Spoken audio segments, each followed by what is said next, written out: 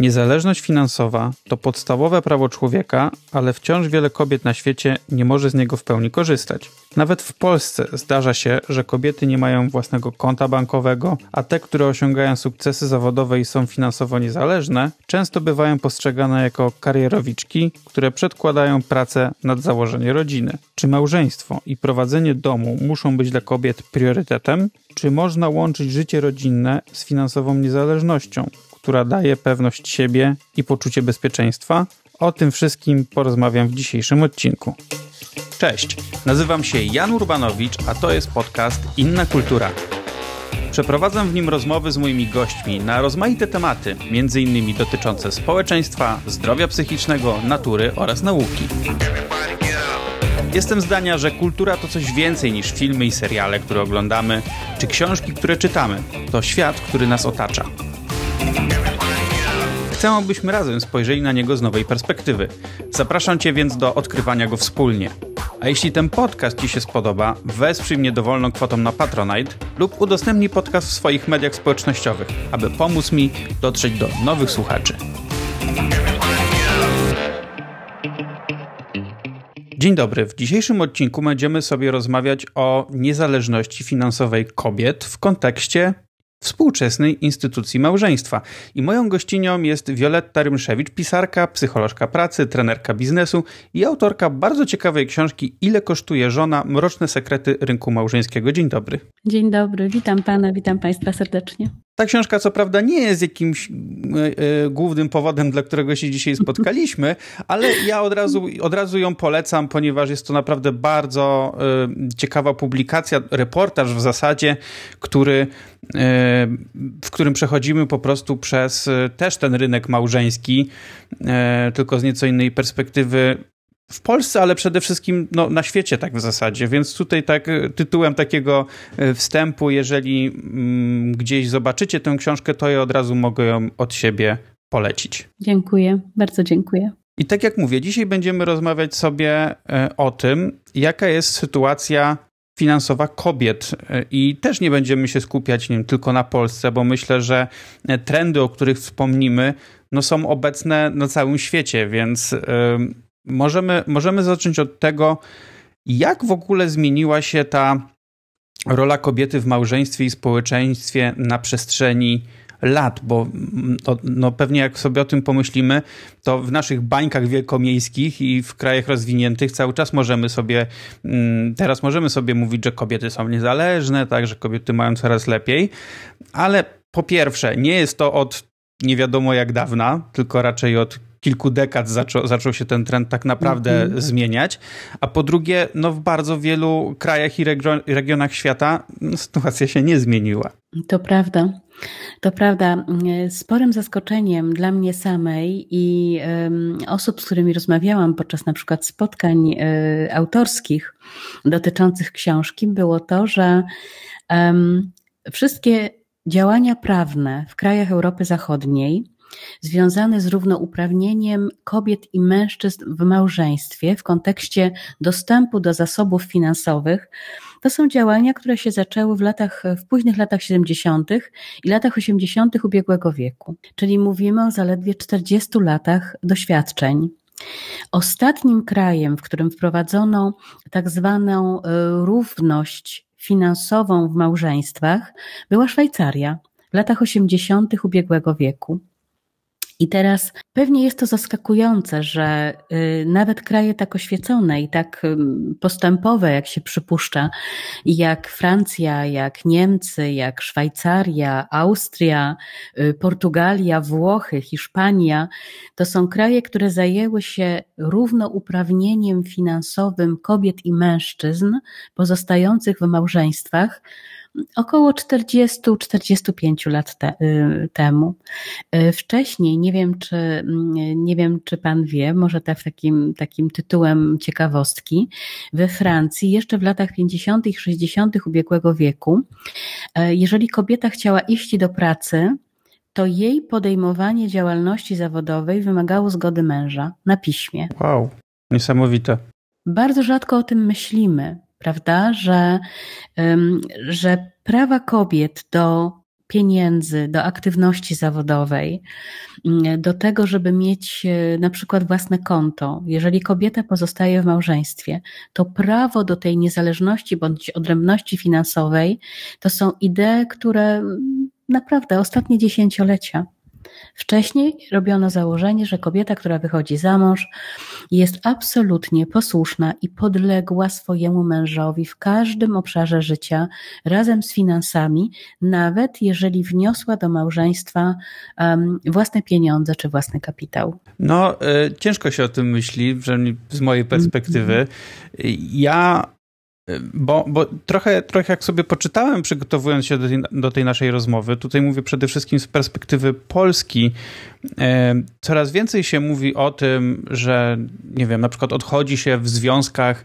od tego, żeby mieć wspólne konto, że każdy powinien mieć swoje. Ja akurat się spotykam po środku, bo tak jak my w przypadku u, u mnie y, i u mojej żony, każdy z nas ma swoje indywidualne konto, ale mamy też konto wspólne, z którego po prostu, na które zawsze wpłacamy jakąś tam daną kwotę co miesiąc, z którego idzie na wszystkie rachunki, zakupy, opłaty i tak dalej, i tak dalej. Ale oprócz tego każdy z nas ma swoje indywidualne konto, z którego możemy rozwalać pieniądze na co chcemy, mówiąc tak kolokwialnie. I myślę, że to jest taki chyba złoty środek, przynajmniej moim zdaniem, ale wiem, że nawet w Polsce w bardzo wielu e, małżeństwach czy, czy nawet związkach partnerskich. No nie, no albo są y, tylko indywidualne, jeżeli ktoś jest taki bardzo postępowy, albo no często jest to właśnie tak, że to mężczyzna ma pieniądze, bo mężczyzna zarabia mm -hmm. i on rozdziela te tak. pieniądze żony. Tak. I jeżeli jest dobry mhm. mąż, załóżmy, dobry człowiek, to to tam jest hojny, tak? Ja to mówię z tak. takim tak. lekkim uśmiechem, ale wcale dla mnie to nie jest zabawne oczywiście. E, no albo jest po prostu przemoc finansowa, mówiąc tak otwarcie.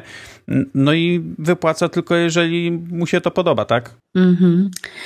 Wie pan, kilka tygodni temu w e, gazecie wyborczej e, ukazał się wywiad, który e, miałam przyjemność odbyć z panią Anną Kalitą.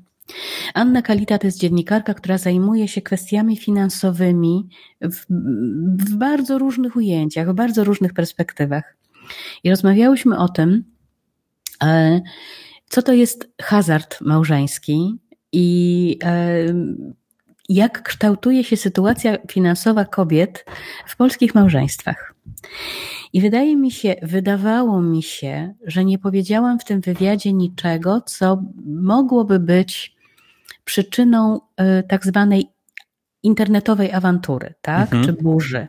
Mówiłam o rzeczach, które z mojego punktu widzenia, jako osoby pracującej z kobietami od bardzo wielu lat, wydawały się oczywistością, że kobieta powinna mieć prawo do, do zarobkowania, że powinna pomyśleć o swojej, mm, o swojej emeryturze. Kobiety żyją dłużej, nawet jeżeli jest to mężatka, to niestety warunki socjospołeczne w Polsce są takie, że mężczyźni umierają wcześniej. Mhm. I każdą, z ogromnym prawdopodobieństwem, każdą zamężną Polkę, bądź Polkę pozostającą w związku formalnym czeka moment, w którym ona jako już starsza osoba spędzi około 8 lat w samotności. Po prostu będzie wdową, tak? Mhm. Albo osobą, której partner zmarł.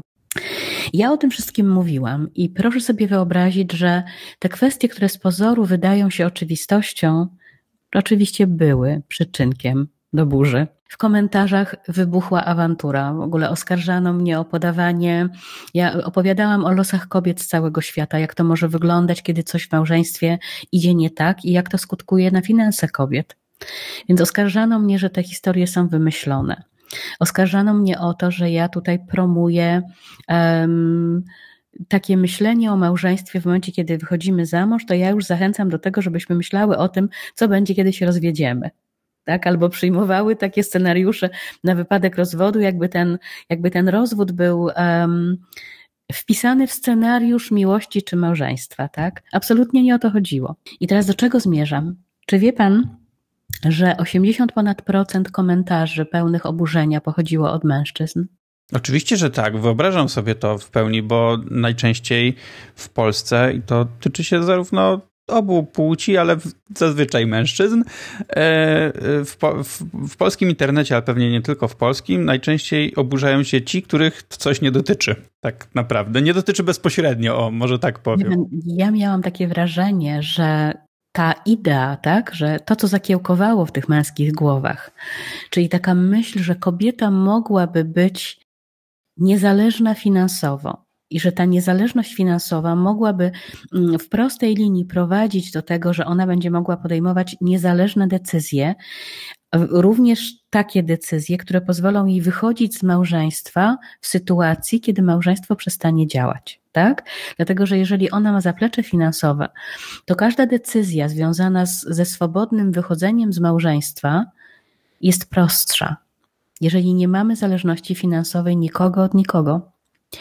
I ja miałam takie wrażenie, kiedy czytałam te komentarze, że dla mężczyzn, którzy je tam zostawiali, ta myśl, że, że obie strony powinny wkładać tyle samo wysiłku w to, żeby małżeństwo działało, że nikt nie jest zależny od nikogo, że to, że małżeństwo trwa, no to ono trwa dlatego, że zaspokojone są wszystkie potrzeby emocjonalne i każde inne w związku i nie ma ograniczeń również po stronie kobiety, żeby wychodzić z małżeństwa w momencie, kiedy małżeństwo nie działa. Tak? I teraz ci panowie sobie wyobrazili sytuację, że jeżeli przestaną sprawdzać się jako partnerzy, również w sensie emocjonalnym, to ta kobieta będzie miała zaplecze finansowe, żeby powiedzieć dość. Dłużej tego nie zniosę. Wychodzę z małżeństwa. To był, to był ten największy problem, wie pan, że, że to trochę jest tak, jakby na nieuświadomionym poziomie to myślenie o zależności finansowej kobiety było rodzajem gwarantu um, nierozerwalności małżeństwa. Nie wiem, czy, nie, ja nie wiem, czy jestem precyzyjna w tym, co mówię. Ja wiem, ja wiem, o co pani chodzi i ja podobnie myślę na przykład w przypadku tego, że coraz mniej się zawiera ślubów kościelnych, a no I, właśnie. I, I, ludzie, I ludzie niektórzy wychodzą z taką tezą, że aha, czyli żeby było wam łatwiej zakończyć związek w razie czego. Y, wcale nie jest tak. Ja uważam wręcz, że to, czy jeżeli obie, obie osoby są niezależne finansowo, albo jednak nie mamy tego ślubu kościelnego, tylko jakiś taki bardziej e, ten świecki, albo, albo nawet żyjemy w ogóle bez sformalizowania związku, to to powinno być wręcz takim impulsem, żeby się bardziej starać o ten, o ten, o ten związek. Więc jakby. Absolutnie tak. Ja zupełnie nie widzę tego jako rzecz negatywną. I oczywiście ja uważam, że każdy powinien oczywiście tam prowadzić to według tego, jak, jak uważa, e, że dla, co jest dla niego lepsze, ale też z poszanowaniem zawsze drugiej osoby. I skupmy się jednak na tym, na tym wątku finansowym, bo no wiemy, jak to wyglądało przez przez lata, przez dekady, przez nawet przez wieki. E, no ale w XX wieku zaczęło się coś zmieniać, tak? Kobiety zaczęły, mm-hmm. być, z, zaczęły mieć więcej praw, zaczęły być bardziej niezależne, zaczęły móc chodzić na e, studia wyższe, w ogóle do szkół w niektórych oczywiście nawet mm-hmm. rejonach świata. No i potem zaczęły wchodzić na rynek pracy. Mm-hmm. I to zaczęło dawać im pewną niezależność finansową, ale jak to się dzieje, że pomimo tego, że kobieta może iść do pracy i idzie do tej pracy, to mimo tego cały czas jednak są sytuacje, że, ten, że tej niezależności finansowej nie ma. Dlaczego tak się dzieje? Nie osiąga. Wie pan, to jest fascynujące, to jest absolutnie fascynujące pytanie, które jest wielowarstwowe i wieloczynnikowe. Myśl, myślę, że musimy e, zacząć od podstaw, czyli od, e, od psychologii pieniądza, mhm. czyli od, od, od sposobu, w jaki nie tylko kobiety, również mężczyźni myśl, myślą o w Polsce, myślą o bogactwie i o dochodzeniu do bogactwa. Ponieważ my jesteśmy bardzo mocno na nieuświadomionym poziomie ukształtowani przez religię katolicką, i przez główne tezy, które na przykład głoszą e, potrzebę skromności i ubóstwa. Tak? Czyli im człowiek e, mniej zamożny i bardziej e, ubogi, bądź niezasobny w różnego rodzaju dobra doczesne, tym większe prawdopodobieństwo nagrody po śmierci. To jest, bardzo, to jest bardzo ciekawe, bo to mi się w ogóle nie spina z tym, co ja obserwuję w realu. A wie pan, to jest w ogóle osobna sprawa, tak? To jest w ogóle osobna sprawa, że my y, mamy gdzieś te bardzo głęboko zakorzenione przekonania kulturowo, religijno i tak dalej, ale na poziomie realizacji życia no to jest, jest, to, jest to swego rodzaju taki dualizm moralny, tak? Że o pieniądzach nie będziemy rozmawiać, nie będziemy się stanem posiadania specjalnie y, chwalić. Jesteśmy zazdrośni wobec ludzi, którzy te pieniądze mają. Przypisujemy im bardzo złe cechy, no, nie wiem, na przykład chciwość albo, albo skłonność do kradzieży, albo wykorzystywanie innych. Ale z drugiej strony, gdyby pieniądze w naszym samym życiu się pojawiły, no to my je bardzo chętnie przyjmiemy. No tak, tak bo my jeszcze utożsamiamy e, pieniądze z sukcesem, tak? Że jeżeli A, jestem no bogaty, właśnie. to osiągnąłem i odniosłem tak, sukces. Dokładnie, dokładnie tak. I wie pan, do czego ja zmierzam? Zmierzam do tego, że z tych powodów religijno-kulturowych, kulturowo, takich przekonaniowych, my mamy bardzo dualny, taki dualistyczny stosunek do pieniądza. Z jednej strony jest to dobro bardzo pożądane, ale z drugiej strony jest to dobro bardzo wstydliwe. Mhm. Ja spotkałam w swojej karierze zawodowej e, w Polsce osoby, mężczyzn i kobiety, o których mogę przypuszczać, że zgromadzili ogromne majątki. Każdy z nich, zapytany bądź niepytany, wypowiada zdanie, które parafrazuje na różne sposoby. Wiesz, to tak przez przypadek, tak mi wyszło, tak? Ja tylko zarabiam na rodzinę. E, byłem w odpowiednim miejscu i czasie. Tych pieniędzy wcale nie ma tak dużo, podczas gdy ja wiem, że jest ich całkiem um, godziwa ilość. I teraz z jednej strony to, co powinno być w przypadku osób bardzo zamożnych powodem do dumy, jest powodem do lęku albo powodem do ukrywania stanu finansów, prawda? A z drugiej strony mam wrażenie, że zwłaszcza w przypadku kobiet, rozmawianie o pieniądzach czy myślenie o pieniądzach rodzi w nas poczucie winy. I z kolei to, to, to poczucie winy, ono jest takie głęboko katolickie, głęboko religijne, tak? Jak ja mogę, tak myśli przeciętna kobieta, z którą, z którą rozmawiałam, jak mogę mieć żądania finansowe albo rozmawiać o, o, o finansach z moim mężem? Przecież w małżeństwie nie chodzi o pieniądze, tylko o miłość. No tak, i od razu może być właśnie posądzone, że skoro pyta y, o jakieś pieniądze, to jest, a to, to o to tobie chodzi, o moją kasę. Dokładnie, dokładnie tak. Wie pan, spotkałam kiedyś taką kobietę już po pięćdziesiątce w bardzo długotrwałym małżeństwie. W małżeństwie z mężczyzną, który był naprawdę bardzo zamożnym człowiekiem. E, I w momencie, kiedy dzieci dorosłe wyszły z domu, ona zaczęła myśleć o tym, że, no, że nie działa. Tak, że to nie do końca jest model życia, który ona chciałaby zachować przez najbliższe 30 lat swojego życia, tak? I zaczęła się zastanawiać, jakie są możliwości poprawienia jakości jej życia emocjonalnego, um, społecznego, każdego, tak? I ona sobie uświadomiła, że po pierwsze, no, musi spróbować terapii. Więc poszła do męża i mówi: Słuchaj, yy, spróbujmy. Może nauczymy się siebie traktować inaczej, nawzajem, tak? Mhm. Może nauczymy się rozmawiać. Może ja lubię podróżować, ty jesteś domatorem, może wspólnie znajdziemy coś pomimo, tak? Ja lubię czytać książki, ty kochasz mecze, ja pójdę z tobą na mecz, ale przeczytaj książkę, która mi się podobała, tak? Pan się oczywiście oburzył, powiedział, że on niczego dla żony nie będzie zmieniał i on odmawia terapii małżeńskiej, bo na terapię małżeńską chodzą tylko, y, tutaj padło bardzo brzydkie słowo.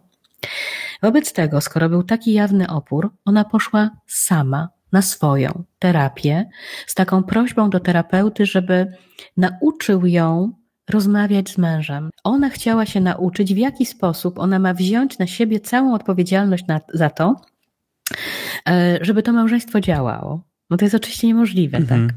I jedna osoba żadnego małżeństwa e, nie uratuje. Nie, ciągnie, nie uratuje. No i tu pojawiają się pieniądze. Dlatego, że w momencie, kiedy ona z pomocą terapeuty uświadomiła sobie, że ona jako osoba pojedyncza małżeństwa nie uciągnie, no to pojawiła się kwestia, co należałoby zrobić, żeby z małżeństwa wyjść. Tutaj pewnie też są potrzebne pieniądze. Okazało się, że tym, tym czego najbardziej ta kobieta potrzebuje, żeby wyjść z małżeństwa, są pieniądze. Mhm. Tak? No więc udała się do męża no, z zamiarem bardzo spokojnej rozmowy. Mówi: Słuchaj, No ile my mamy tych pieniędzy? No wiesz, no one są porozkładane tam w różnych miejscach, w różnych krajach. No dobrze, ile? Powiedz mi proszę, ile zarobiliśmy pieniędzy przez cały, przez te 30 parę lat trwania małżeństwa? A co ty mnie tak wypytujesz? No bo wiesz co, ja mam takie marzenie, ja bym chciała, żebyśmy może jakąś część, te, te oszczędności były znaczące. One były mhm. bardzo duże. Wiesz, może zrobilibyśmy tak, że ponieważ my jesteśmy razem tam te 36 lat, może, może kupilibyśmy dla mnie kawalerkę. Taką zapisaną na moje imię i nazwisko. A co ty wyprawiasz? Jaką kawalerkę? Z jakich pieniędzy? O czym ty w ogóle mówisz? Pan nie usłyszał, nie usłyszał potrzeby w tej prośbie, nie usłyszał potrzeby bezpieczeństwa. Tego, że ona chciałaby mieć coś, co będzie jej własnością. Ona była żoną pozostającą przy mężu przez całe życie, tak? Ona miała takie marzenie o tym, żeby poczuć się finansowo, że ona jednak do czegoś doszła, do jednego elementu, tak? Który jest tylko jej własnością.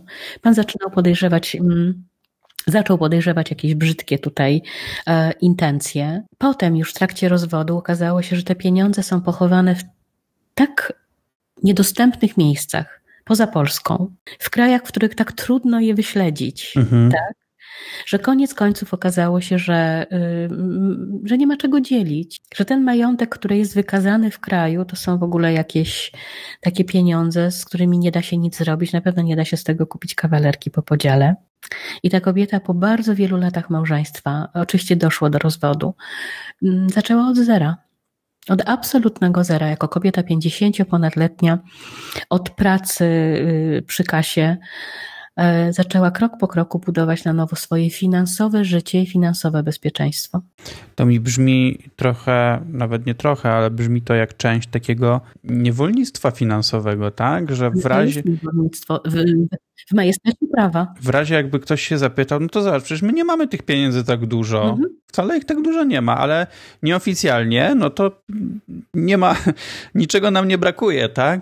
I ja myślę, że to jest w ogóle jakby głównym, jakby takim tym sednem tego problemu, jednym z filarów tego problemu jest to, mhm. jest ten bardzo patriarchalny yy, schemat małżeństwa, tak? Czyli mężczyzna zarabia, a nawet jak kobieta też chodzi do pracy i zarabia, no to kiedy pojawia się dziecko bądź dzieci, no to nie, no proszę pani, no to pani tutaj w domu siedzi, zajmuje się dziecie, dzieckiem, ja zarabiam, tak? I potem, mhm. dlaczego ty czegoś żądasz? Przecież ty siedzisz w domu, ja zarabiam pieniądze. I dochodzą tutaj oczywiście, tu, to, to chodzi bardzo wiele kwestii wtedy. Po pierwsze, to, o czym się też coraz częściej mówi, że praca w domu i utrzymywanie domu, w sensie, że był porządek, wychowanie dzieci mm -hmm. i, tak dalej, to też jest praca. Absolutnie, to jest też praca.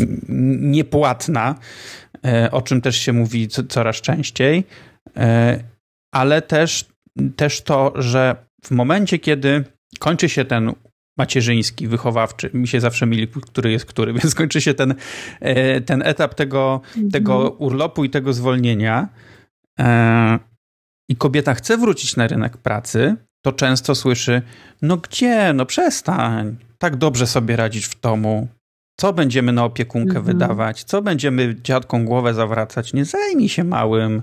On jest, jeszcze zobaczysz, jeszcze trochę podrośnie i wtedy wrócisz do pracy.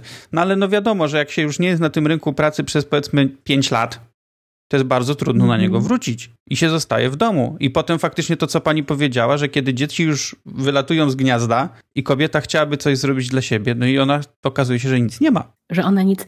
Wie pan, podjął pan y, tak wiele wątków, które chciałabym rozwinąć. Wszyscy mi to zawsze że mówią, ja, że zadaję takie wielowątkowe pytania. Że ja, ja spróbuję może, o ile nie zapomnę, spróbuję po kolei, tak?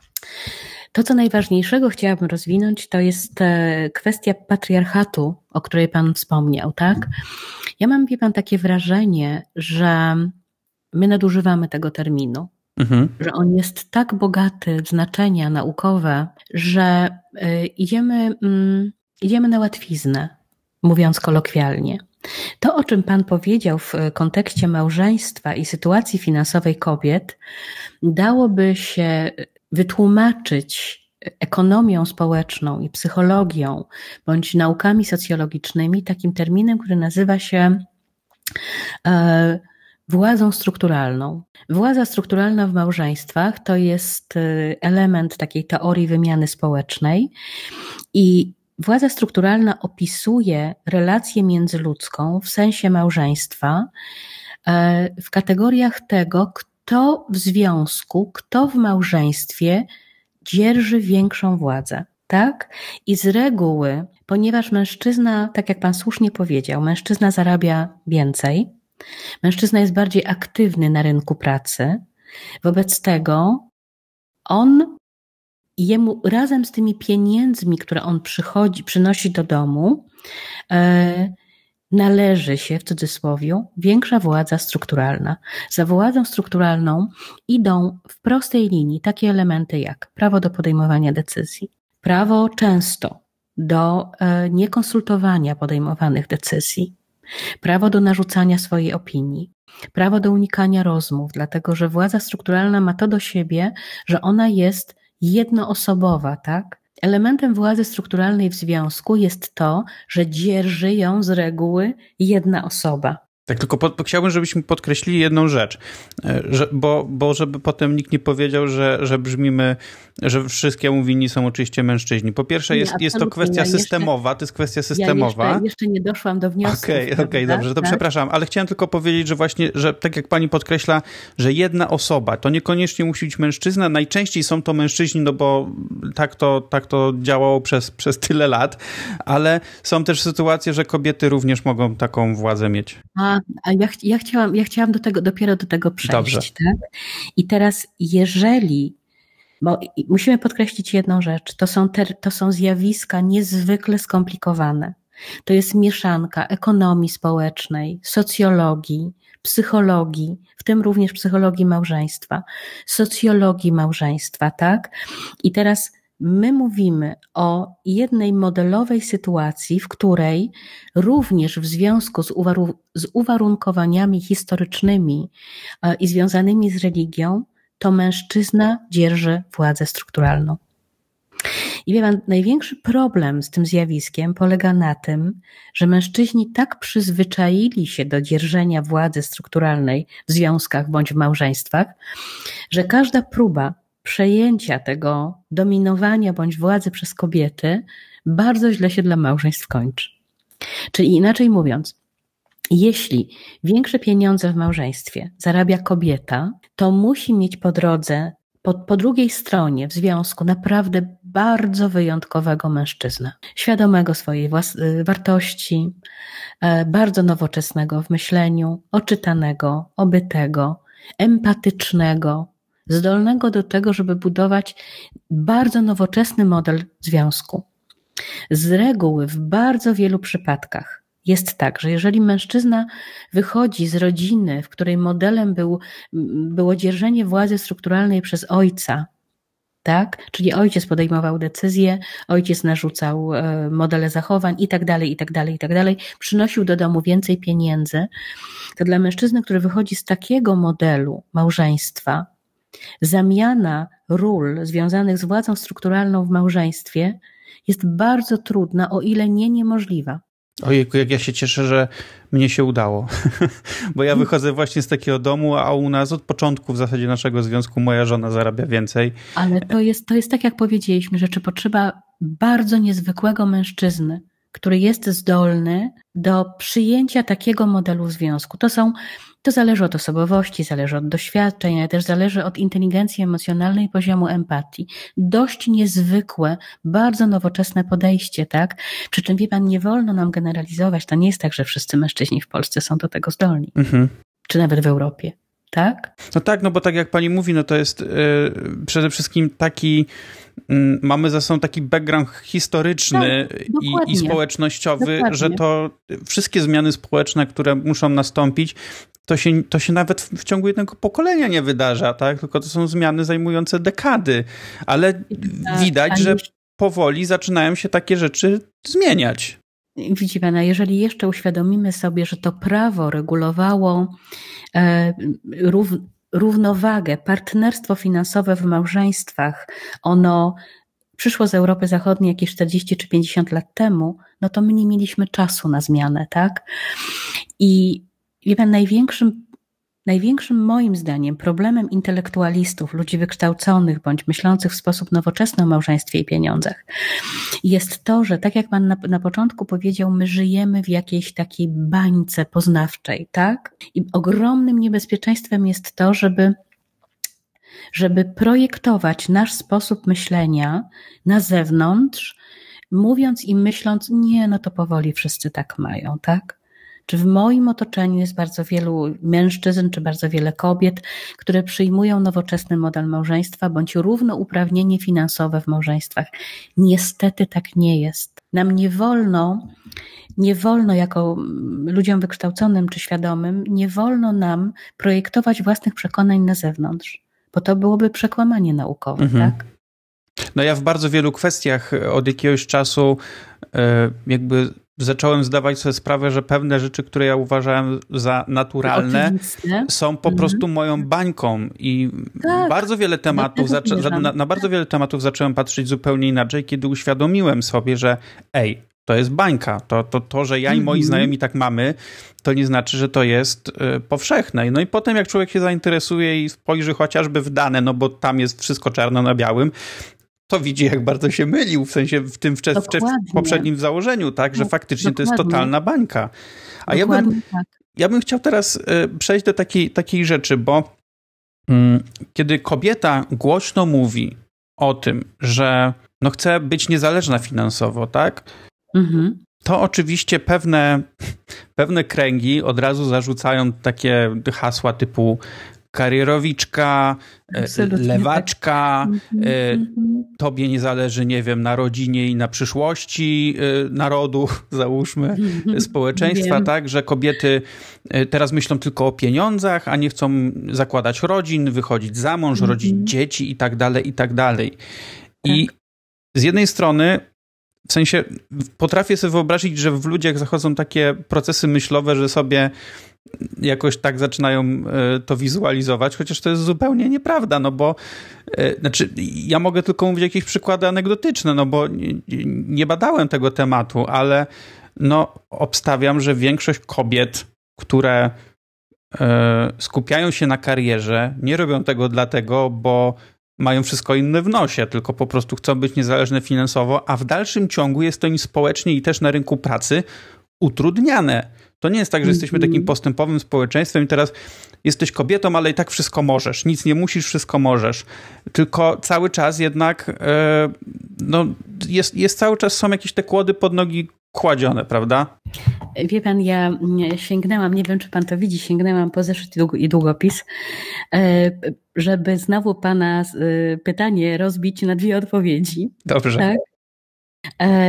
I teraz y, pierwsza kwestia, którą zanotowałam, chciałam panu opowiedzieć o tym, co dzieje się w Stanach Zjednoczonych w kontekście poczucia męskości mhm. związanej z finansami.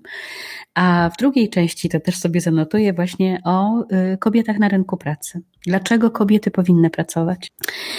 I chciałam Panu opowiedzieć e, o pewnym zjawisku, które ma bardzo bliski związek z tym, w jaki sposób mężczyźni patrzą na niezależność finansową kobiet oraz na to, że kobiety w ogóle mówią o pieniądzach. Wiem, to co jest ciekawe, znalazłam bardzo niewiele badań e, związanych z ze sprawdzaniem, jaka jest kondycja psychospołeczno-ekonomiczna polskich mężczyzn. Są tego typu próby robione, natomiast najbardziej wyczerpujące badania, które udało mi się znaleźć, dotyczą tego, jaka jest kondycja finansowo, psycho, społeczno-ekonomiczna amerykańskich mężczyzn. I to, czym się chciałam podzielić, to jest następująca myśl. Do pewnego momentu, kiedy mieliśmy do czynienia z tak zwaną ekonomią produkcji, tak? Czyli mężczyźni, zwłaszcza gorzej wykształceni i z niższych warstw społecznych, mogli zarabiać godziwe pieniądze idąc do fabryki i pracując na stanowiskach niewymagających e, wiedzy specjalistycznej, tak długo, Badania y, tego, jak czuje się amerykański mężczyzna, wykazywały, że amerykański mężczyzna czuje się dostarczycielem chleba, tak zwanym, tak, mm, czuje się męsko, czuje swoją siłę sprawczą i czuje, że jego głos się liczy. No ale najpierw przyszedł wielki kryzys paliwowy w latach 70. XX wieku, potem przyszedł ogromny kryzys w 2008 roku I okazało się, że kolejne fabryki są zamykane, a ekonomia mm, nie tylko w Stanach Zjednoczonych, ekonomia na całym świecie przeradza się w tak zwaną digital economy albo sharing economy. I co się okazało? Okazało się, że mężczyźni, którzy nie mają wyższego wykształcenia, albo nawet jeżeli nawet nie chodzi o wykształcenie, tylko taką zdolność dostosowania się do nowych warunków ekonomicznych, po zamknięciu fabryk lądują na bezrobociach. Przestają być w stanie dostarczać jakiekolwiek pieniądze i chleb rodzinom. Kolejne badania i co się okazuje? Oni czują się sfrustrowani, czują się pomijani, cierpi ich męskość, um, cierpi ochota na seks, tak? Ale pojawia się po 2008 roku, pojawiło się w Stanach Zjednoczonych pewne bardzo niepokojące e, zjawisko, które socjolodzy nazywają uzależnieniem od barbituranów albo epidemią opioidową. Mhm. Po prostu ponieważ mm, to jest dość powszechna wiedza, bardzo trudny jest dostęp do lekarzy, zwłaszcza osób ubogich bądź zamkniętych środowisk amerykańskich, że o terapii mm, psychologicznej czy dostępie do psychiatry w ogóle nie możemy mówić. Wobec tego mężczyźni nie nauczeni przez te dziesiątki lat do przyglądania się swoim emocjom, i swojemu stanowi psychicznemu zaczęli zabijać swój ból egzystencjalny środkami e, przeciwbólowymi. Rozumie pan? Bardzo bardzo oczywistym jest, że na przykład jeżeli bolą mięśnie albo głowa albo coś takiego, to należałoby się przyjrzeć stanom, e, stanowi psychicznemu danej osoby. Okazuje się, że przez brak dostępu do odpowiedniego lekarza nie, nie wykazywano tych zależności pomiędzy na przykład roz, rozwiniętą depresją a bólami somatycznymi.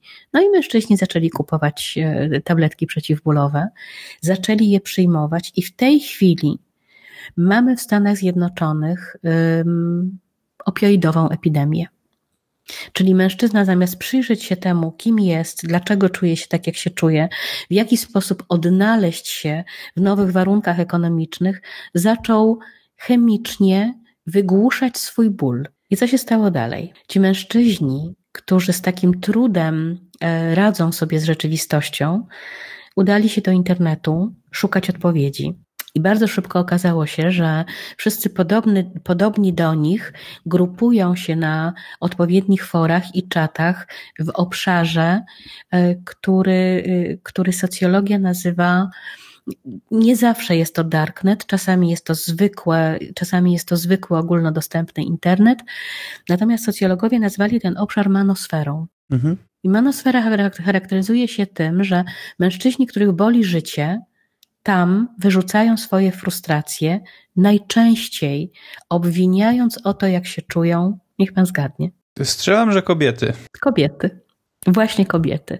No bo one nie chcą wychodzić za mąż, za tych e, stolarzy albo byłych, albo byłych pracowników kopalń, tak? One nie chcą prowadzić domu, one chcą zarabiać pieniądze, one chcą się uczyć. No jak one mogą to wszystko robić? Dlaczego one nie chcą już być posłuszne? I wie pan, do, ja do czegoś zmierzam. Gdyby zrobić tego typu przekrojowe badania i powiązać je z wydarzeniami społecznymi i historycznymi, które miały miejsce w Polsce, to też bardzo łatwo dojść do pewnych wniosków, tak?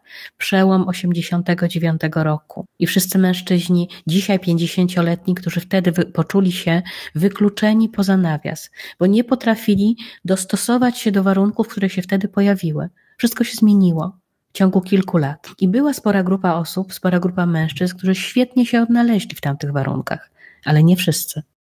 To jest, y, mówi, rozmawiałem o tym już w dwóch odcinkach w zasadzie, poruszałem ten temat, kiedy mówiliśmy o, o problemach współczesnych mężczyzn, że bardzo często w momencie, kiedy mm, kobiety robią coraz więcej rzeczy, tak, są coraz bardziej mhm. niezależne, y, to dla, dla dużej części mężczyzn to jest po prostu coś tak, taki nieznany obszar y, po części, i też oni się zaczynają czuć po prostu trochę niepotrzebni.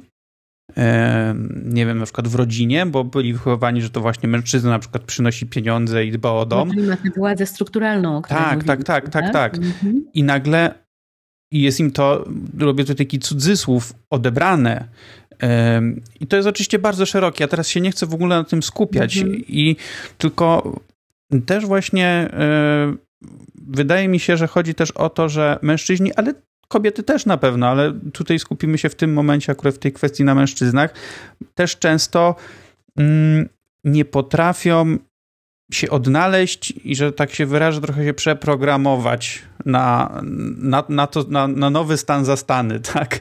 E, mhm. w odcinku, w tym momencie, kiedy rozmawiamy, ten odcinek jeszcze jest nieopublikowany, ale już, już słuchacze mogą go sobie odsłuchać. Kiedy rozmawiałem z Jowitą Michalską o, o rynku pracy jutra, jaki rynek pracy będzie w mhm. przyszłości, to jedną z bardzo takich umiejętności pożądanych będzie właśnie adaptowanie się do zmian, do tego, że po prostu. Wie pan, to zawsze było. Tak, ale no te zmiany są teraz trochę szybsze niż były kiedyś. Wie pan co?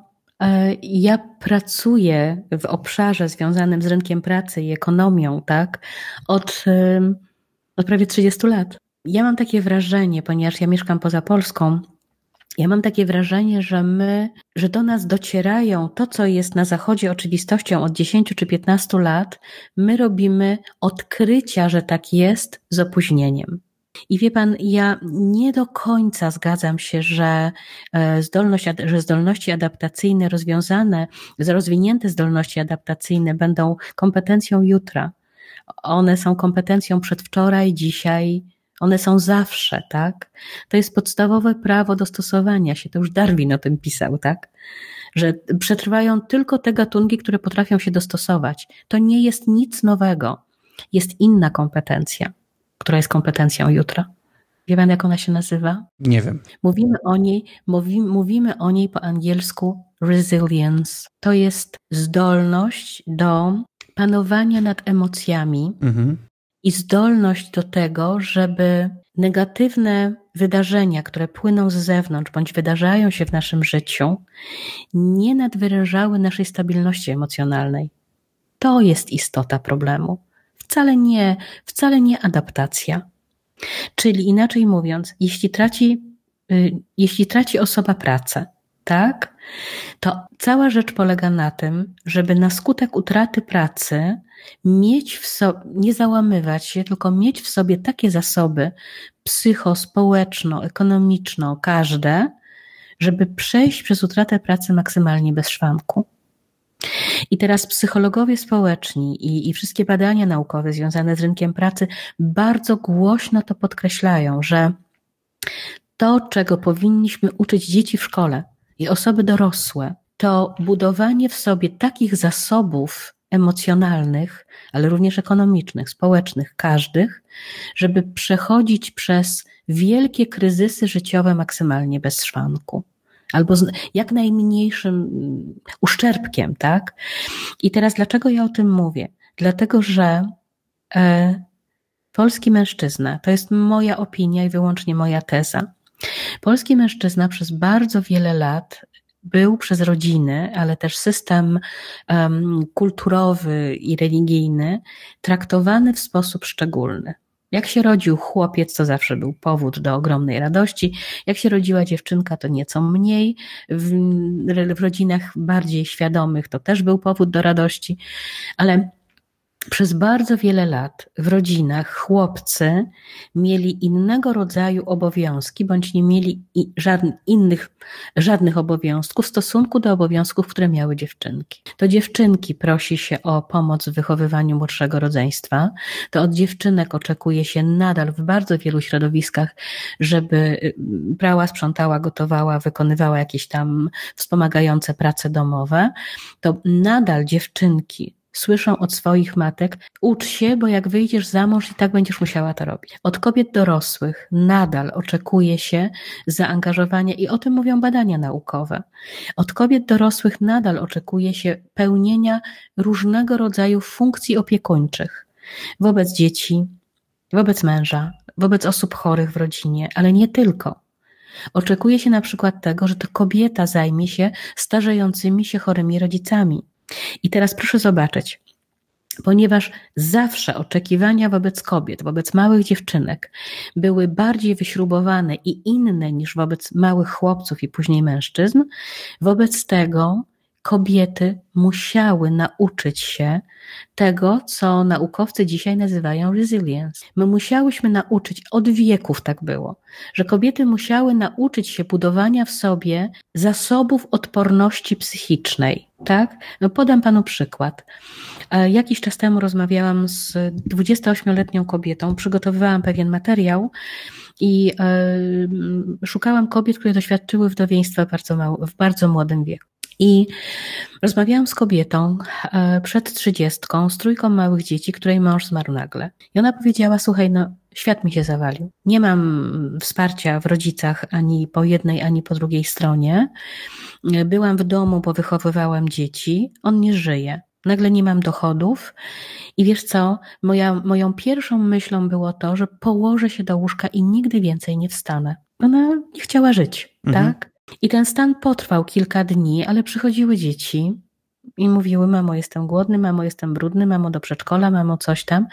I ona mówi, że po kilku dniach ona spojrzała, podniosła głowę, spojrzała na dzieci, mówi: Nie, no, zaraz, co ty wyprawiasz? Co ty robisz? Podnoś za przeproszeniem cztery litery i zajmij się dziećmi. I ona minęło, od śmierci męża minęło trochę czasu. Ona mówi: Słuchaj, ja nie wiem, jak ja, przez to jak ja przez to przeszłam. Ja nie wiem, jak ja to przeżyłam. Nie wiem skąd wzięły się we mnie siły, żeby wstać z tej kanapy, ruszyć tyłek i nakarmić dzieci, poszukać pracy, zmienić mieszkanie, bo nie było mnie stać na wysokie rachunki i tak dalej, i tak dalej. I teraz widzi pan te resilience kobiet w Polsce, tak? Jest już bardzo mocno rozwinięte, bo my nie mamy innego wyjścia. Natomiast mężczyźni bardzo często wychowywani na takich, um, brakuje mi słowa, nie wiem jak to powiedzieć, żeby nikogo nie urazić, tak? Mężczyźnie wolno więcej. Hmm. Co wcale nie oznacza, że w mężczyznach istnieje wewnątrz psychiki mężczyzn, istnieje ich własne przyzwolenie na okazywanie słabości. To są dwie zupełnie różne rzeczy tak? To, że mężczyzna chce uchodzić za osobę silną na zewnątrz, wcale nie znaczy, że jest rezylientny, tak? Czyli, że ma zbudowane zasoby, które pozwolą mu przejść przez kryzysowe sytuacje w życiu. E, zgadzam, zgadzam się e, z tym, co pani mówi i też mam gdzieś jakieś nowe swoje, swoje wnioski na wiele tematów, ale nie jest to temat naszej dzisiejszej rozmowy, więc nie, nie chcę tak. tego rozwijać. Więc chciałbym wrócić. Yy, do rynku pracy pewnie. E, nie, no chciałbym wrócić generalnie do kobiet, tak? Bo, mm -hmm. bo ja rozumiem, że to nasze odchodzenie też w tej rozmowie do mężczyzn no jest, jest nieodłączne, tak? No bo yy, i kobiety, i mężczyźni żyją w społeczeństwie, więc jakby to pewne rzeczy są ze sobą połączone, tak? I jedne wychodzą z drugich, więc jakby nie można mówić o kobietach, nie mówiąc o mężczyznach i na odwrót. Mm. Ale chciałbym... Zwłaszcza, zwłaszcza, że rozmawiamy o małżeństwie. Tak, to, to, to w, szczeg w szczególności. I zastanawiam się, Jakie mogą być mechanizmy już teraz dostępne, które mogą poprawiać tą sytuację kobiet, tak? Żeby właśnie może nawet nie zawsze całkowicie eliminować, ale przynajmniej minimalizować ryzyko tego, że kiedyś kobieta, no nie wiem, no po prostu pewnego dnia zda sobie sprawę, że no nic nie ma. Mhm. To jest, wie pan, kolejne fascynujące pytanie, które pada z pana ust. I przypuszczam, że spodziewa się Pan, e, że wspomnę tutaj o mechanizmach ekonomicznych. Nie, nie wspomnę o mechanizmach ekonomicznych. Pierwsze, co nasuwa mi się, e, to zupełnie inny model wychowywania małych dziewczynek. Powinnyśmy, ja mówię teraz o kobietach, o matkach, powinnyśmy tak szybko, jak jest to możliwe, mówić naszym córkom następujące rzeczy. To, czy jesteś ładna, nie ma żadnego znaczenia. Masz być mądra, inteligentna, silna, niezależna, odporna. Teraz pana pewnie zszokuje, podobnie dlatego, że kiedy to mówię, wiem, e, znam reakcję bardzo wielu osób. Powinniśmy mówić naszym córkom, my kobiety, żeby nie wierzyły w miłość, żeby nie wierzyły w mit księżniczki, którą uratuje książę na białym koniu. A, czyli mamy nie wierzyć w tą romantyzowaną miłość, tak? Bo żeby w ogóle nie wierzyć w żeby miłość... Nie, to... Żeby nie wierzyć w romantyzowaną... Dobrze, że pan to dodaje, żeby nie wierzyć w romantyzowaną miłość. Bo jakby powiedzieć, że mam w ogóle nie wierzyć w miłość, to bardzo pesymistyczne. To bardzo by się to panu nie spodobało. Nie, nie, nie. Nie wierz w to, że kiedykolwiek pojawi się w Twoim życiu książę na białym koniu i Cię przed czymkolwiek uratuje, bo on nigdy nie przyjdzie. Mało Zgadzam tego. się. Mało tego. Nikt nigdy przed niczym Cię nie uratuje. Takiej sytuacji nigdy nie będzie. Jeśli nie uratujesz sama siebie, nie znajdziesz w sobie zasoby, żeby ratować się w życiu z różnych opresji, to nikt z zewnątrz nie przyjdzie, żeby cię uratować. I wiem, do czego ja zmierzam? Proszę zobaczyć, jak wychowuje się dziewczynki w krajach zachodu, a w krajach wschodu to jest zupełnie inna kwestia, zostawmy to. Są lalki Barbie tak? Lalki Barbie, które mają super długie nogi, piękne blond włosy, super ciuchy i tak dalej, i tak dalej. I dopiero od pewnego momentu, po protestach środowisk kobiet bardziej postępowych, te lalki Barbie są astronautkami, lekarkami i tak dalej. Generalnie przez bardzo, bardzo wiele lat lalki Barbie tylko wyglądały. Mhm.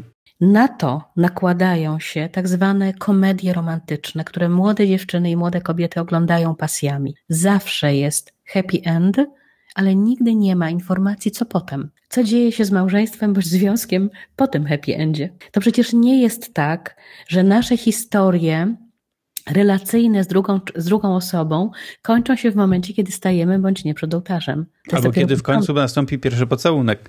Dokładnie. To jest dopiero początek opowieści. Nigdy ten mainstream, tak, mass media bardzo chcą mitologizować i romantyzować miłość. I ja powiedziałabym swojej córce, gdybym ją miała, słuchaj, nie wierz w to.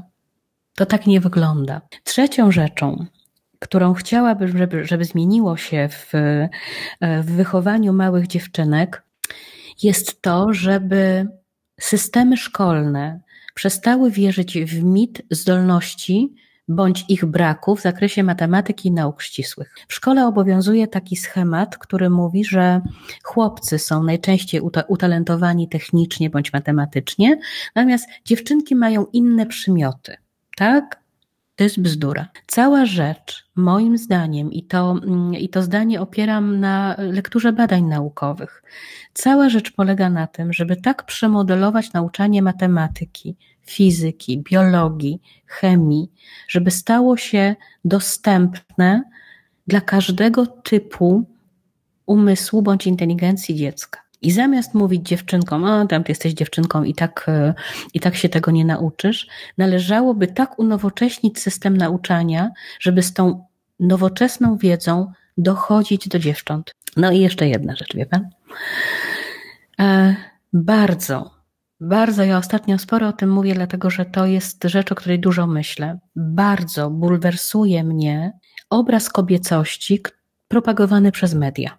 Zwłaszcza przez takie media, które ja na, na własny użytek nazywam nieintelektualnym, nieintelektualnymi, tak? Czyli wszędzie jest takiego obowiązku naukowego bądź obserwowania świata. Czasami spoglądam na programy typu, nie wiem czy pan to zna, bo to jest e, nieintelektualne mocno, damy i wieśniaczki.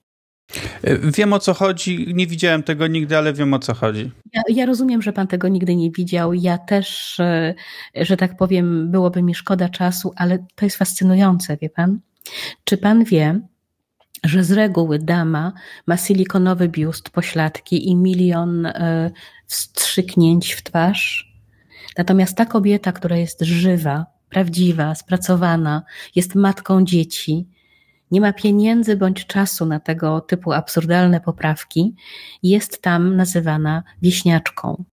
Przeraża mnie to, że ten model kobiecości, takiej napompowanej, poprawionej, przypominającej lalkę z silikonu, bądź właśnie Barbie, on jest niemal obowiązującym kanonem na Instagramie, na Facebooku, w mass mediach.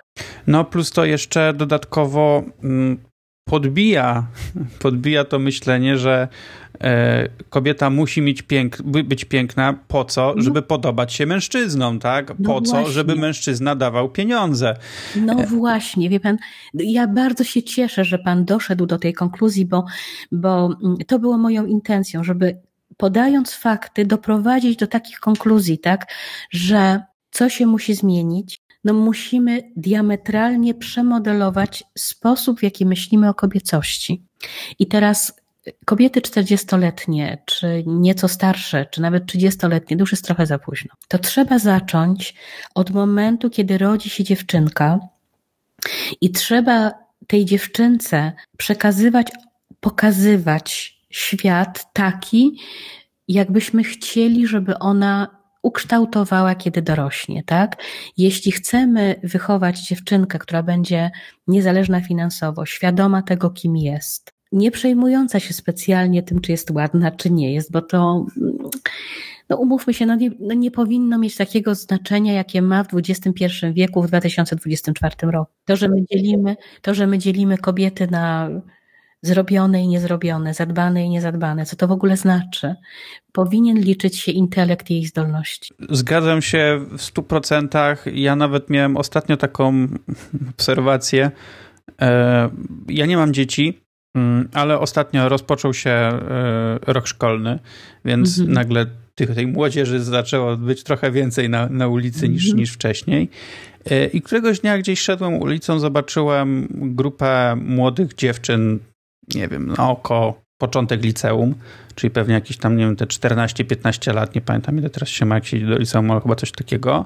E, I dziewczyny były w makijażu, to tam w, e, w makijażu już tak ubrane, że w, odsłaniają e, moim zdaniem trochę za bardzo pewne, pewne części ciała, ale nie jest to tu kompletnie nie, tu, tego nie krytykuję, bo, bo nie, nie taka jest moja rola i, i, ja mówię, ja nie mam dzieci, a nic nie będę się komuś wtryniać w to, na co, jak to wychowuje swoje dzieci, y, ale chodzi o to, że one robią to po coś. Mhm. Ja nie mówię tu od razu, że to chodzi o to, że mają się podobać chłopakom, e, e, mam nadzieję, że równolatkom, a nie jakimś starszym. Mm -hmm. Bardziej o to, żeby się podobać po prostu innym ludziom, też innym koleżankom. Jakiś... To jest w ogóle, widzi pan, znowu wracamy, ja bardzo panu dziękuję za tę obserwację, dlatego, że my znowu wracamy do tego, co przed chwilą powiedziałam, czyli do resilience, do zasobów wewnętrznych, tak? Czyli do takiej sytuacji, w której ja uzależniam e, swoje samopoczucie i to, czy jestem zadowolona z tego, kim jestem i co osiągnęłam w życiu, od tego, czy ktoś mnie lubi bądź akceptuje na zewnątrz. Prawda? Dlatego ja powiedziałam kilka zdań wcześniej, że to jest ta wymagana kompetencja przyszłości. To, żebyśmy byli w stanie przyjmować ten cały szalony świat, który biegnie do nas, gdzieś tam z zewnątrz przychodzi, z maksymalnym spokojem i odnajdowali w sobie zasoby, żeby sobie z tym radzić w zdrowy sposób. W zdrowy sposób. Zresztą badacze Badacze, psychologowie, którzy zajmują się zjawiskiem właśnie tego, tego odnajdywania wewnętrznych zasobów, oni mówią bardzo często, że e, kiedy brakuje wewnętrznego zasobu do odradzania się, pojawia się e, na przykład depresja, albo pojawiają się innego rodzaju e, zaburzenia związane z odżywianiem, z samookaleczaniem i tak dalej. Jest to jeden z tych to nie tylko to, bo ja nie chciałabym, żeby ktoś mnie źle zrozumiał, ale jest to jeden z elementów, które mają ogromny wpływ na to, jaki jest stan naszego zdrowia psychicznego. To, czy my siebie akceptujemy takimi, jakimi jesteśmy, tak? Czy szukamy potwierdzenia naszej wartości gdzieś tam na zewnątrz, w oczach na przykład innych ludzi. I wie pan, ja naprawdę uważam, że tym, co robi ogromną, wielką krzywdę współczesnym kobietom w każdym wieku, to są mass media i to są te przekonania, które mm, za pomocą mass mediów, często bardzo niskiego lotu, płyną do samych kobiet, tak? I te przekonania, mm, te, te wzorce kobiecości, to w jaki sposób my postrzegamy kobiety, to jest absolutnie dewastujące, to jest absolutnie niszczące i jeżeli głównym założeniem, o którym dzisiaj rozmawiamy, tak, są pieniądze i to, w jaki sposób kobiety mogłyby poprawić swoją sytuację finansową, to jednym z elementów jest psychologia i nasz stosunek do pieniędzy. I między innymi to, że ja staję przed lustrem i mówię: Słuchaj, Wielka, no ty zasługujesz na to, żeby zarabiać. Zasługujesz na to, żeby mieć własne pieniądze. Jesteś na tyle dobra, że dasz sobie radę w życiu. I wie pan, chciałabym tutaj przywołać pewną historię, która mnie w ciągu ostatnich tygodni absolutnie zafascynowała i zszokowała. Ja bardzo nie lubię tego mainstreamowego Instagrama. Bardzo źle się w tym odnajduję. Ja nie rozumiem tej kobiecości instagramowej. Jest we mnie ogromny bunt wobec tego, co się tam dzieje. I podobne emocje i uczucia mam, jeżeli chodzi o polskiego YouTube'a. Te wszystkie ja naprawdę nie chciałabym, żeby ktoś zrozumiał, że ja kogokolwiek krytykuję. Ja mówię o swoich emocjach. Każda kobieta ma prawo robić ze swoim ciałem to, na co ma ochotę i co jej się podoba. Ja nie odnajduję się dobrze emocjonalnie, patrząc na wytatuowane brwi, sztuczne rzęsy, y, silikonowe usta y, i wypchane policzki. Czuję się gorsza, tak? Czuję się nieprzystająca. Y, również dlatego, że inaczej rozumiem kobiecość. I teraz w momencie, kiedy bombarduje mnie ta kobiecość z każdej strony, to ja, żeby odreagować, ja szukam autentyczności. I znalazłam, znajduję takie kobiety. One bardzo często prowadzą obcojęzyczne kanały, ale znalazłam pewną Polkę. Polka mieszka w Stanach Zjednoczonych.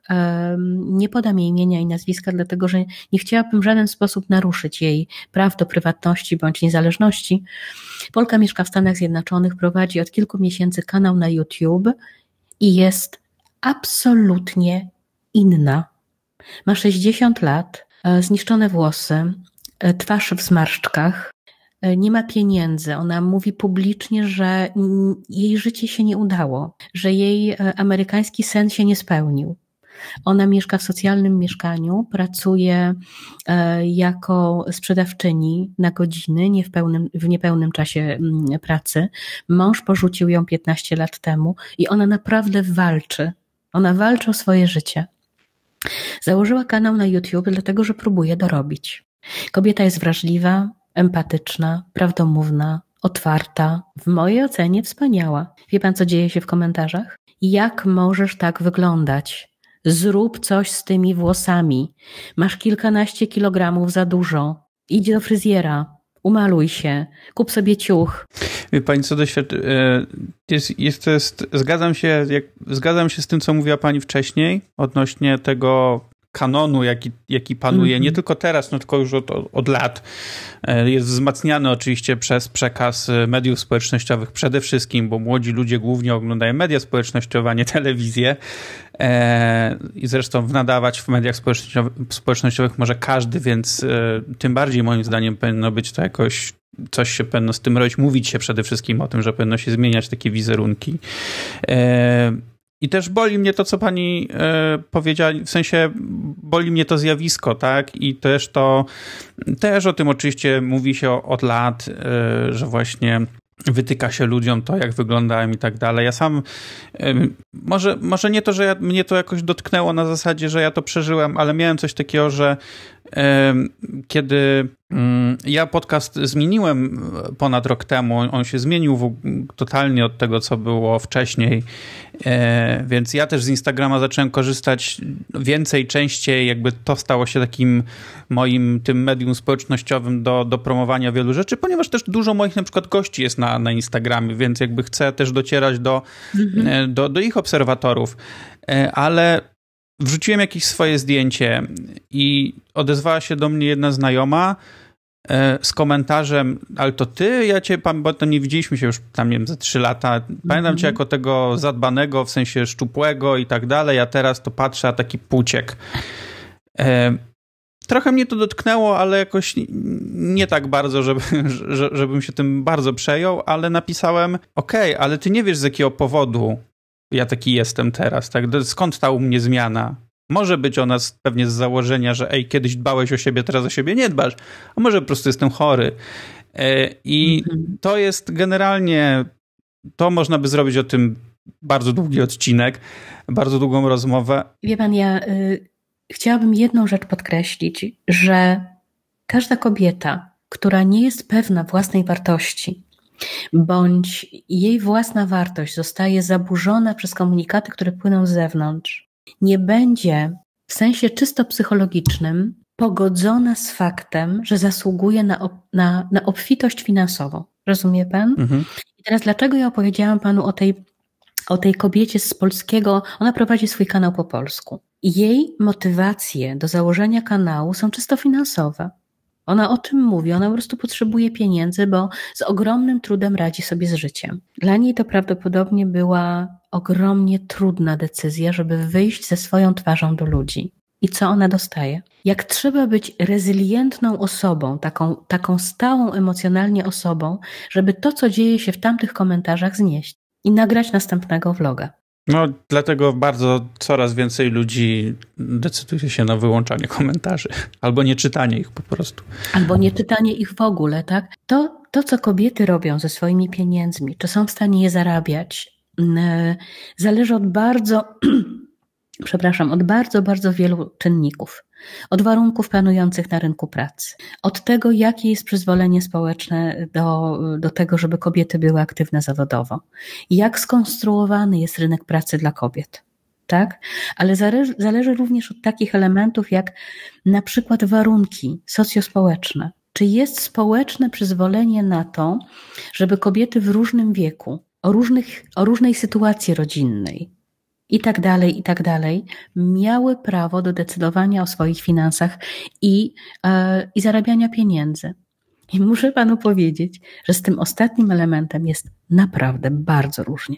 E, ja bym chciał, już, już będziemy kończyć, ale chciałbym taki mm, mały apel, e, albo po prostu skomentować jeszcze to, co pani powiedziała, bo pani powiedziała, że każda kobieta ma prawo zarabiać pieniądze, ma prawo mieć te pieniądze.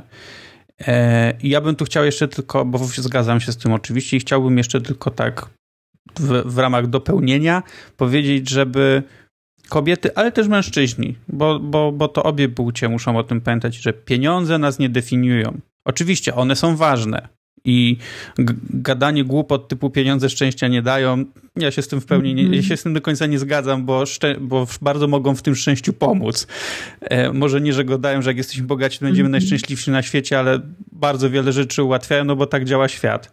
E, ale one nas nie definiują. Pieniądze, nie, pieniądze bądź ich brak nie świadczą o tym, czy jesteśmy dobrymi czy złymi ludźmi, czy należy nam się szacunek, czy nie e, i czy zasługujemy na to, czy na tamto. Więc chciałbym, żeby to, to wybrzmiało, bo to jest e, bardzo ważne i o tym się trochę zapomina. My robimy, robimy założenie, że to jest oczywistość, prawda? Ale rzeczywiście powinno to, powinno to wybrzmieć. No, ja chciałabym natomiast, jeżeli Pan pozwoli, mm, jeszcze jedną rzecz powiedzieć. Mianowicie, że jakbyśmy nie uważali, że pieniądze szukam słowa. Bardzo dużo ludzi uważa, że pieniądze są w jakiś sposób y, zbrukane, bądź nieetyczne, bądź i tak dalej, i tak dalej. Jakbyśmy nie myśleli, jedna rzecz pozostaje faktem. Dobrze zarządzane finanse, dobrze prowadzona y, Prowadzone to zdrowie finansowe kobiet w skrajnych przypadkach poz pozwala przeżyć. I dobrze by było, żebyśmy o tym pamiętali, tak? Nie chodzi o posiadanie wielkich pieniędzy, dlatego że posiadanie wielkich pieniędzy nie definiuje wartości człowieka, tak jak Pan powiedział. Ale trzeba pamiętać, że uporządkowane finanse na indywidualną miarę i na indywidualną potrzebę w skrajnych przypadkach pozwalają przeżyć. Trzeba o tym pamiętać. Czyli z kolei apel po mojej stronie do kobiet: e, porządkujcie, drogie panie, swoje pieniądze. Oszczędzajcie ile się da. Uczcie się wiedzy związanej z, z inwestowaniem i szanowaniem własnych pieniędzy, dlatego że nie znamy swojej przyszłości, nie wiemy, co będzie jutro i uporządkowana sytuacja finansowa, jakiekolwiek, niewielkie nawet oszczędności, mogą uratować Wam życie albo bezpieczeństwo. I tą słuszną myślą chciałbym zakończyć ten odcinek. E, moją gościnią była Wioletta Rymszewicz. Bardzo Pani dziękuję za rozmowę. Ja również, bardzo dziękuję. I tutaj od razu zdradzę, że będziemy się jeszcze słyszeć w przyszłości. Będziemy poruszać trochę inny temat, ale jednocześnie e, związany niejako z tym, co, e, o czym dzisiaj rozmawialiśmy, ale to zostawiam Wam na przyszłość, więc zapraszam Was do kolejnego odcinka i do usłyszenia. Dziękuję. Dziękuję Ci za przesłuchanie tego odcinka. Jeśli Ci się spodobał, zostaw proszę ocenę lub komentarz.